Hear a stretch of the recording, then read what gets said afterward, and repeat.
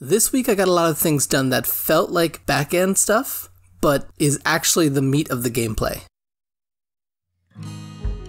I managed to get all of the resources and power supply things bolted down.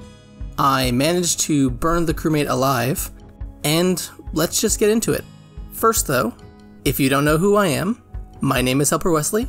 I've made these games, and I make weekly devlogs.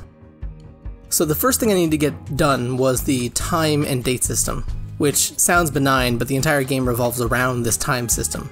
In the original game, you would have to spend time to fix machines and to do any kind of actions. So it was almost like a pseudo board game. But in this remake, I want to make it so that everything is real time. And so the clock is kind of important. It's really basic, it's literally just a timer that ticks, and then when it reaches the end of the timer, it, it ticks a variable up. And then while that variable is ticked up, everything kind of collapses down and happens all at once. So it checks to see what machines have what status and how much power they've burned and how much of their resource they've generated and stuff like that. And then it kind of adds all that up and then crams it all out. And then the variable switches back to zero, so it doesn't do that again until the time changes again. But before I got that far into it, I got stuck on something. The text wasn't aligning to the right. With GDevelop, there's this quirk where text only aligns if it's multi-line. So if there's multiple lines in the text object, then it will align to the center or to the left or right, depending on how you have it set up. But there needs to be multiple lines in the text object or else it won't do it. I'm not sure why, but that's just the way it's set up. So in the past, I've used a cheat where I add a bunch of text at the bottom and then center it, and that way it tends to work. But the BB text, for some reason, I'm not sure what's going on. I asked in the Discord and got a bit of help, but I think it's canceling the word wrapping and changing the width of the text object so that when you go to center it, the text moves way over to the right, which is not what I wanted. So the cheat for this I'm not sure about yet because I want to use the BB text, but if this is consistent, then maybe I'll have to switch to the, just a regular text object, which won't be as good. But if I can't align the text, then I'm going to need to do that. But the cheat I used for this specific one was created a 00 colon 00. And because the zeros are wider than everything else in the font, when it wants to move, it doesn't move because it, the, the zeros are bigger. Anyhow, that was kind of a lot of time to waste on just aligning text, but since the clock is going to be kind of a, an important thing, I just wanted that to look right. So now that I have the time in place, I'm able to use that time ticker to affect the other variables, like machine degradation.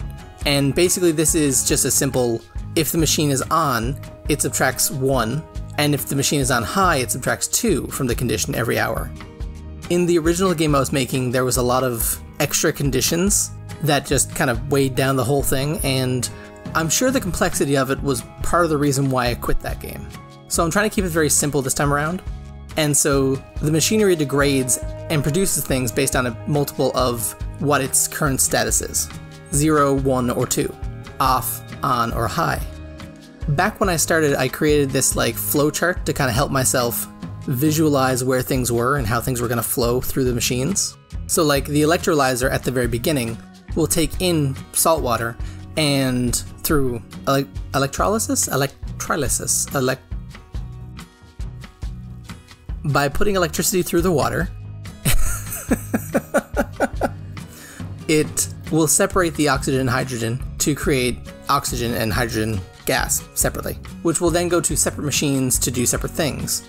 The excess hydrogen will be released into the ocean, and then the harvested oxygen will be used to breathe. But then you'll also use some of that oxygen and hydrogen to fuel the burner, which will be generating the heat for the station that you're in as well as drinkable water for your crewmate. There's more things involved in it too, but we'll get into that in another video. So essentially I went through and made sure that everything on the hourly tick is generating something or losing something or like the crewman will lose mentality and gain tiredness over time. And then if they're doing something on one of the machines, then they'll gain more tiredness. I don't think working will affect their mentality. I think I want to reserve that for like when things are going to hell, not just because they're doing general maintenance. So on top of every machine consuming something and then producing something, it's also always consuming power. The power system was set up with catch-all variables to kind of collect all the running machines and the lights that are on to tell you how much energy you're burning overall. And this balance will be at first perfect, but over time, as machines degrade and as you're forced to turn on machines onto high power, which will drain more power, you'll need to sacrifice things like the lights or machines that don't need to be on at the moment. So you'll be balancing those out to kind of make things work. And speaking of balancing, I got everything set up to run and didn't set up any balancing for the temperature or caps for any of the resources, which basically meant that this was happening. When the burner was on, it was just kind of going up.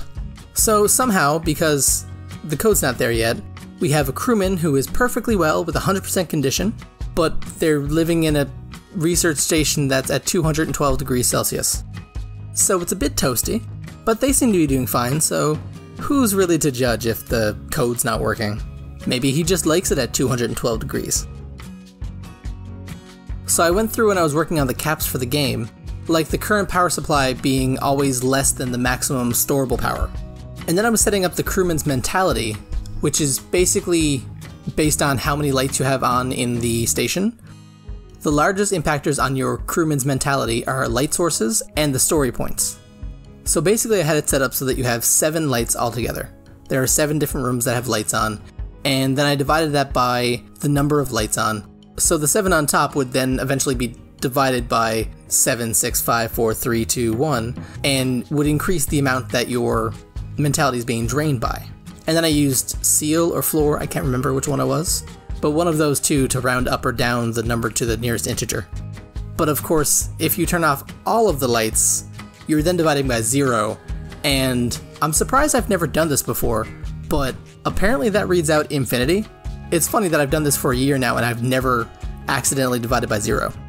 So I changed that to 7 subtracted by the number of lights that are on, which is a lot less reality bending and works better in the code. So now that everything is hopefully balanced, I'll explain where the trickiness of this game comes in. So, focusing on temperature specifically, when the burner is at 100% condition and on normal, it will balance out with the natural cooling that's happening on the station, because the station is underwater. So as long as your condition is above a certain number and you just leave it on normal, then temperature will be fine and you won't have to worry about it. But if your machine then drops to a certain condition level, like halfway down or something, then suddenly you have to put the machine on high just to keep up with the temperature. And if you have your machine put on high, then you're draining more power, which means you need to shut down something else, or you're going to trip the breaker. And then it's not going to work anyways. So basically, every machine is in this like perfect balance, and the trickiness will come into play when you have to worry about what things you're able to shut down for the time being so that you can focus on making this thing work. And maybe I'm just weird, but I personally think that kind of gameplay is really fun. And by the way, the speeds that you're seeing here now are not the speeds that will be in game. The game will be much more chill than this. Next week, I'm probably going to do more for the art pack again, because, like I said in a previous video, this month is just screwed, and those art videos save me a lot of time.